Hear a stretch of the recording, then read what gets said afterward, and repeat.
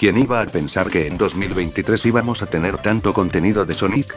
En serio, tuvimos las tres actualizaciones de Frontiers, de Murder of Sonic como un juego del día de las bromas, el DLC de Sonic Origins, el más reciente Sonic Dream Team, y, antes de ese, tuvimos un nuevo título de la saga clásica, Sonic Superstars.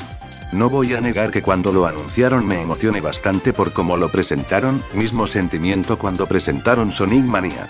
Quiero ser directo con ustedes, si ya vieron mi vídeo pasado, Sonic Superstars fue el juego de Sonic que más me gustó de todo lo que salió el año pasado, y esperaba hacer este vídeo para hablar más detalladamente a este título así que a eso iré, obviamente deberían saber que esto será bajo mi opinión personal y que habrá spoilers. Si tienes una opinión diferente la mía, tiene en la caja de comentarios siempre y cuando con respeto. En fin, empecemos. Sonic Superstars es el juego que fue desarrollado por el Sonic Team junto a Artfest, el cual es la empresa del conocido Naoto Oshima, el cual es el diseñador de Sonic y Eggman en sus inicios. Algo que los fans de la franquicia nos tomó de sorpresa y la verdad a mí también. Al ver cómo anunciaron el juego también llamó la atención ya que a diferencia de Sonic Mania, vemos que han decidido agregar muchas nuevas mecánicas que ningún Sonic clásico ha tenido, un arte precioso, y bastantes más cosas, con la razón de modernizar esta saga en palabras de Takashi Izuka. Acá tenemos el regreso de fan de Sniper. O bueno, ahora es, The Hunter, el cual es uno de los personajes olvidados y por más que este estuviera en manía, solo estaba en forma de referencia, o sea este personaje no tuvo nada importante desde el juego donde debutó, Sonic Triple Travel. Además tenemos a un nuevo personaje creado por el mismo Naoto Oshima, Trip. La cual está trabajando junto a Eggman y Fang. El juego transcurre en las Northstar Island, el cual es una isla mística donde veremos animales grandotes, las Esmeraldas Chaos tienen distintas habilidades y una antigua tribu, el cual Eggman junto a Fan de Hunter y Trip, la residente a estas islas, se quiere apoderar de estas islas para dominar el mundo. Esto ya lo vivimos en los otros Sonics clásicos. En este juego a diferencia de los otros clásicos, podemos jugar de a cuatro jugadores, y sí, aparte del trío que ya conocemos, tenemos a Amy, la cual hace poco ha empezado a ser un personaje jugable en los clásicos, siendo su primera incorporación en Sonic Origins Plus, les advierto que no la voy a comparar su gameplay de ese juego con este, ya que no tengo ese DLC en Origins.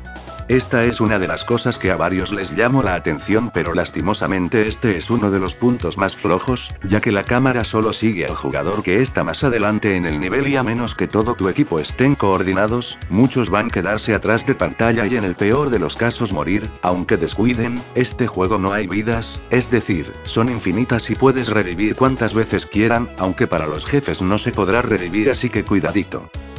El juego cuenta con 11 zonas, vamos por orden.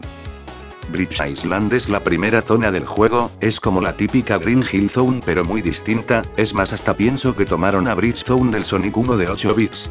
Es Jungle, un nivel selvático donde iremos a toda velocidad por túneles similares a los de Stardust Speedway de Sonic CD y lianas que funcionan como los rieles de los Sonic moderno. Sky Temple, tal como es su nombre, estaremos en un gran templo en los cielos, donde la mayor parte del tiempo estaremos subiendo y corriendo a altas velocidades. Ah, y hay segmentos estilo Pinball Breaker. Pinball Carnival, donde veremos muchos pinballs en un parque de diversiones cuyo segundo acto el ambiente se hace más terrorífico, podría decirse que este acto queda bien como un nivel especial para Halloween. Lagoon City, un nivel acuático más cuya apariencia siempre me hizo pensar en Aqualake Zone de Sonic 2 de 8 bit, unos de mis traumas, pero acá está mil veces mejor hecho que esa porquería. Sky Sanctuary, digo Sand Sanctuary, un nivel de desierto más donde tenemos bastantes cosas sacadas de Sandopolis Zone. Press Factory, uno de los niveles más detestados por la comunidad donde tenemos dos temáticas, el primer acto tendremos una prensa en el fondo que nos hará saltar estilo el piso luminoso de Wacky Workbench, y el segundo acto donde tenemos que andar presionando botones para que el lugar no explote y muramos instantáneamente por este. Golden Capital, imagínense a Marvel Zone solo que con elementos dorados, mucha velocidad, pinballs, y muchos, muchos anillos. Cyber Station, el nivel más creativo y variado del juego, en serio, tiene demasiados gimmicks únicos que no se ve en otros Sonics clásicos. Podemos ser un calamar y un ratoncito, y todo el tiempo estaremos pixeleados, miren a Sonic, se ve muy adorable. Frozen Base, un nivel más de nieve, no les voy a mentir, es un nivel bastante bueno la verdad, aunque llámenme loco, pero ¿acaso no se parece un poco a Robotnik Winter del Triple Travel? Y Egg Fortress o como me gusta llamarlo, el caldero volador de Eggman. Un segundo, ¿acaso ese no es? Mortal, has cumplido con tu propósito. Ahora llegará tu fin. Soy el vacío que todo consume. Yo soy infinito. Soy la nada. Soy inevitable. Soy incontestable. No importa la forma que adopte. El fin os llegará a todos. Siguiendo con los niveles en sí, a diferencia de los Sonics clásicos pasados acá tenemos una organización distinta, ¿a qué me refiero? Hay zonas donde tendremos dos actos normales, zonas con tres actos y los de un solo acto. Los de tres actos son un poco más especiales ya que en estos hay uno dedicado a uno de los personajes. La cosa va así, en Jungle tendremos un acto exclusivo donde solo se juega con Sonic, en Lagoon City tenemos el de Amy, Golden Capital está el de Knuckles y en Frozen Base está el de Tails. La cosa es que estos niveles son opcionales, menos el de Amy, ya que este es cosa de historia. Y aun jugando en cooperativo, estás obligado a jugarlo a menos que te hayas pasado el juego antes y vayas al selector de niveles, el cual, es como el de Sonic Generations. Los de un solo acto pues son niveles más largos, pero aún así, creo que hubiera sido mejor que tuvieran dos, porque personalmente, son de los niveles que más me gustan del juego. Hablando de los personajes, creo que no hace falta mencionar cómo se juega Sonic, Tails y Knuckles aquí, para eso tenemos los juegos anteriores. Pero tenemos a Amy, la cual, es como Sonic, pero tiene doble salto y en lugar del drop dash, ella empezará de golpear con el martillo y podemos dirigirla por un tiempo. Eso sí, un plus para Tails, es que ahora también podemos bajar el vuelo de Tails más rápido en vez de esperar a que baje por su cuenta. El añadido especial de este juego son las esmeraldas, ya que ahora en vez de ser solo para tener las transformaciones, acá cada esmeralda tendrá una habilidad en específica. Avatar, donde aparecerán múltiples copias de nuestro personaje corriendo por toda la pantalla. Bala, donde podemos impulsarnos para cualquier dirección, similar al Whisperador de Sonic Colors. Visión donde podremos ver plataformas y anillos que normalmente no podemos ver, sirve mucho para la exploración y encontrar las fases especiales. Agua, donde podemos andar por superficies acuáticas, sirve mucho para Lagoon City, ya que tendremos la habilidad de nadar por así decirlo, y un dato extra, nos hace invencibles a aplastamientos, pero no a los pinchos, lo cual es extraño considerando que somos un líquido. Hiedra, donde podemos invocar una gran liana creciente para alcanzar superficies altas y podemos dirigirla, es prácticamente la más inútil del juego ya que debemos activarla en superficies que no se muevan y ya de por sí, Pala hace mejor trabajo. Lentitud, donde podemos obviamente ralentizar todas las cosas en el nivel. Y extra donde cada personaje tendrá una habilidad adicional distinta entre sí, ¿a qué me refiero?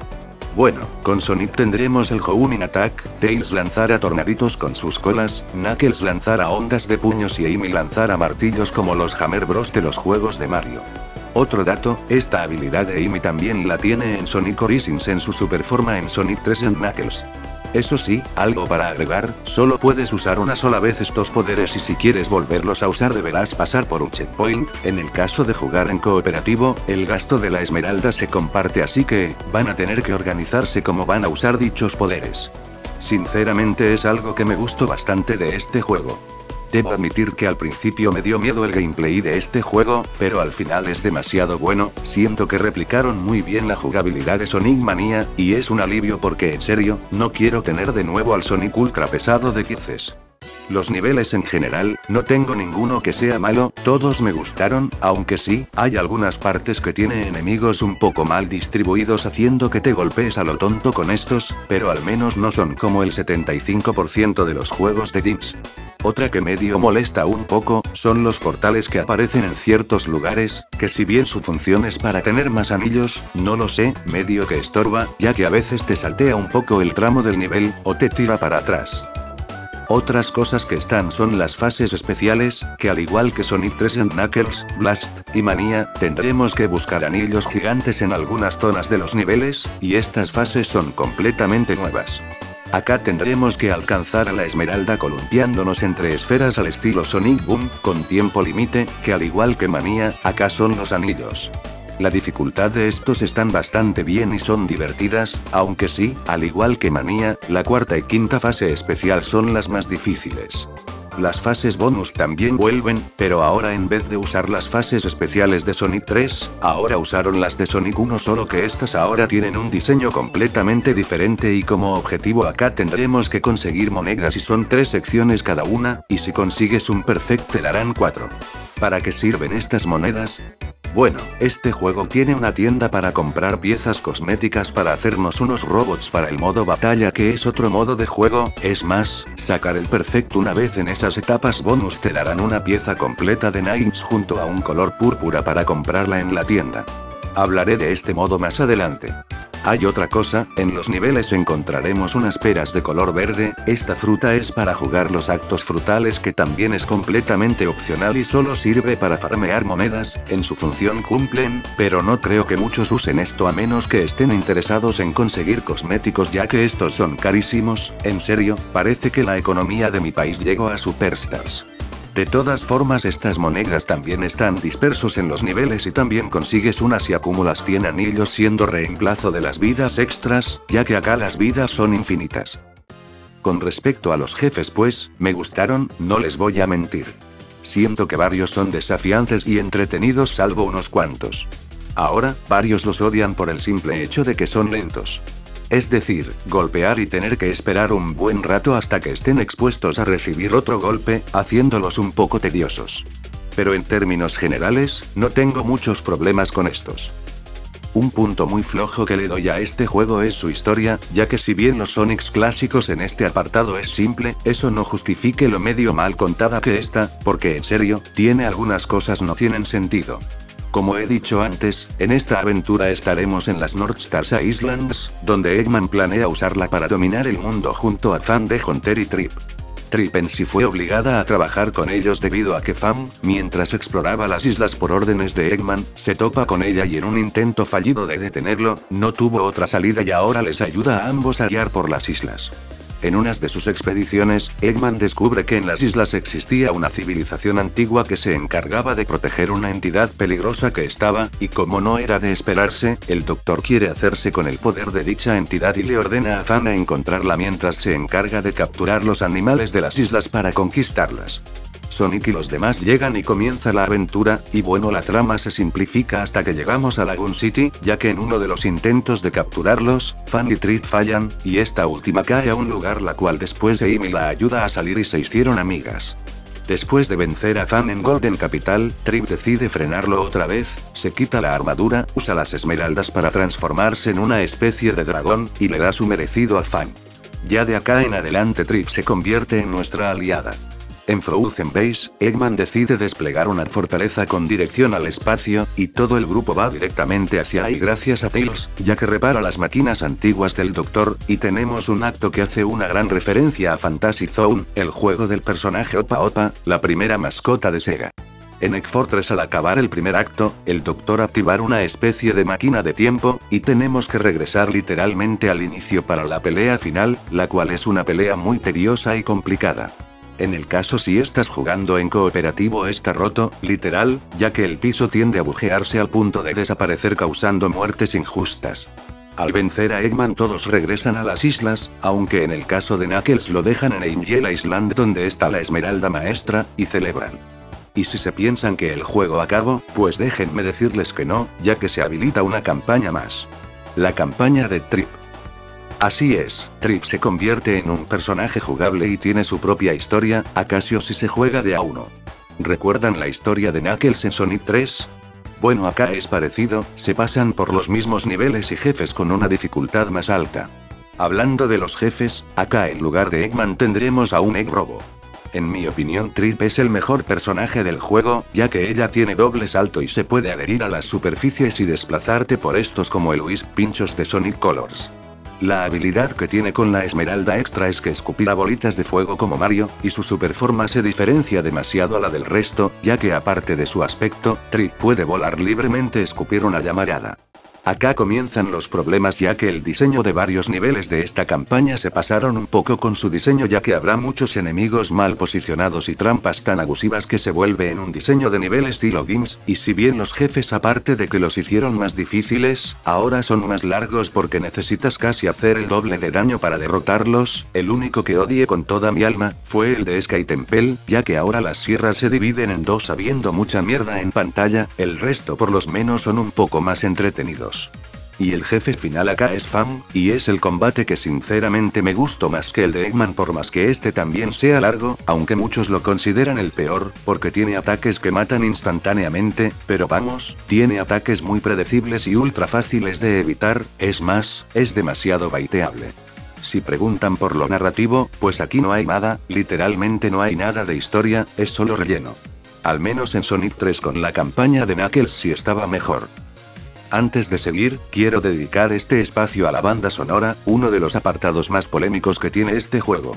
A ver, para empezar, a mí me gustó la banda sonora de este juego, pero digamos que algunos temas desentonan con el estilo del juego, ya que Jun Senue regresa para este juego también. Ya varios tenían miedo por cómo nos trajo las remezclas de las músicas del prototipo del Sonic 3 para Origins, pues acá la mayoría de sus temas decidió hacer temas estilo Sonic 4. Oigan, yo adoro la banda sonora de Sonic 4, no toda pero sí ya hay temas que rompen el estilo. Aunque también, en este juego tenemos muchos compositores, entre ellos T. Oates, el que compuso la banda sonora de Manía, Rin Soma, que trabajó con los temas de los ciberespacios de Frontiers y muchos otros más. Aquí les dejo unos fragmentos de los temas que más me gustaron del juego.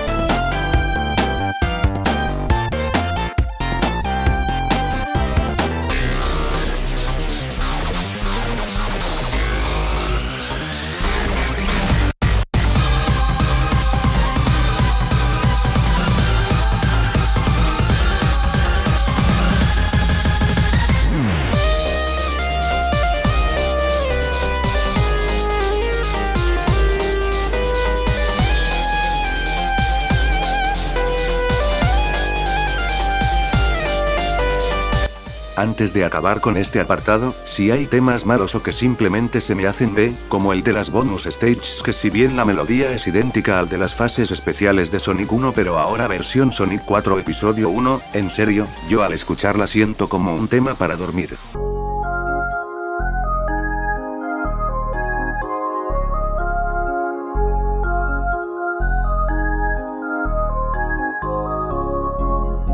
El tema de Press Factory Act 1 es el que más desentona con el juego y está medio mal instrumentada, y escuchando su versión prototipo siento que esa es mejor que la que nos dieron en la final.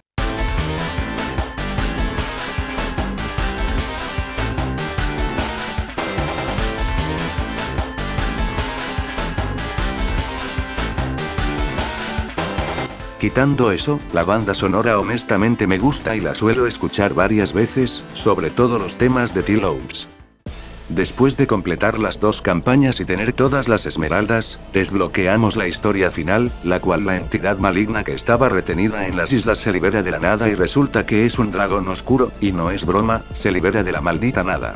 Y ahora como Super Sonic, tenemos que derrotarla, esta es posiblemente una de las peores peleas finales en Sonic ya que esta pelea es extremadamente larga y difícil, y no es que sea difícil por sus ataques, sino que es difícil porque no te dan casi nada de anillos en el mapa, porque sí, tomaron de base al Rever y del Sonic Mania, y si bien, cada tanto vienen los amigos de Sonic a darte más anillos para aguantar más la pelea, y acá me pregunto una cosa.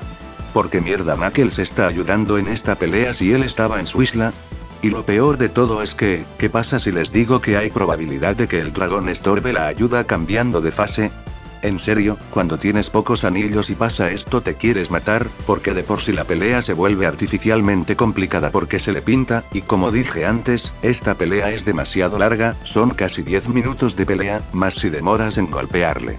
Y sí, tiene un ataque insta-kill, el cual solo la tiene en la primera etapa, ya que cuando hay que alcanzarlo escupe agujeros negros y la única forma de liberarte es usar el impulso, y usarlo consume más anillos.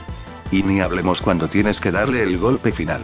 Ya que acá hay una secuencia de Quick Time Events, luego te mandaron láser y un Quick Time Event para rematar, y si te golpea o fallas con los Quick Time Events tendrás que hacer todo ese proceso de nuevo, y lo peor aún, acá ya el escenario no te dará anillos. Créanme que me tomo muchos intentos para grabar esta pelea para el vídeo. Al vencer el dragón genérico oscuro que ni nombre tiene que yo sepa, porque ni el juego mismo te lo menciona, vuelve a ser encerrado en el huevo con ayuda de Trip, todos son felices y fin. En serio, créanme que hasta para contar la historia de una mejor forma es difícil porque hay bastantes cosas que no tienen sentido, que siento que hace competencia con Sonic 2006, pero al menos es mejor que Sonic Labyrinth y 3D Blast siendo sincero. Ahora, anteriormente había mencionado que en este juego existe un modo batalla, la cual usaremos un robotito que nosotros podemos personalizar con las piezas que compramos en la tienda con las monedas, dichas piezas se va desbloqueando haciendo ciertos requisitos en el juego. Es más, el robotito que nosotros utilizamos, será el jefe que nosotros enfrentaremos en Cyber Station. ¿Y que nos propone el modo batalla en sí? Pues estaremos compitiendo con otros robots en distintos desafíos, entre ellos son agarrar estrellas, competir en una carrera, cagar a tiros a nuestros oponentes, y sobrevivir hasta que el último robot caiga. Estos se irán intercalando de forma aleatoria, y lo mismo la zona donde jugaremos estos desafíos, el que gane más puntos obtendrá la victoria de la partida. Sinceramente este es el mejor multijugador de los clásicos. Y sí, este juego puedes jugar online, tanto en la misma plataforma como entre otras, así es, este juego tiene crossplay, pero acá no puedo decir mucho porque no tengo la suscripción para jugar online XP. En conclusión, Sonic Superstars para mí es un buen juego de Sonic, tiene ideas muy ambiciosas y bien ejecutadas, pero que la mitad de estas sí falla un poco, además algo que no mencione, el juego se lanzó con varios bugs, bugs que en diciembre corrigieron. Pero aún así, tomaron algunas malas decisiones y además le hacía falta pulirse más, y esto es porque a Sega le gusta andar sacando juegos a las apuradas, porque les repito, en 2023 hubo demasiado contenido de la franquicia. Ojalá que los próximos juegos 2D entreguen un producto de calidad y que no venga con problemas como este.